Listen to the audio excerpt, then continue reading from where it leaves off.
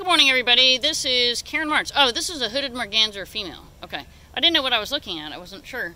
Okay, so before any people come in, now I came in that way. Look at this really radical tree. Oh my God, isn't this cool?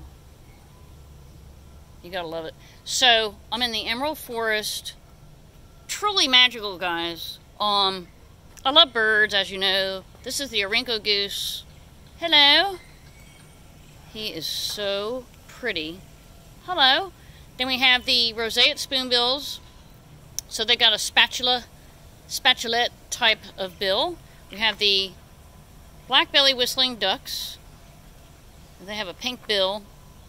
And then we have the scarlet ibis over here, which are so pretty. And so, look guys, I just love this place because um, to be this close to birds, it is just amazing. And if, if you're not traveling overseas, you probably never get to see this type of bird. This is, I'm in the South American area, by the way. Black-faced ibis, never heard of it. Really dramatic.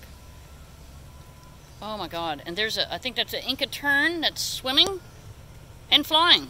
Wow. All right, signing off live. It's Karen Marts. Have a great day.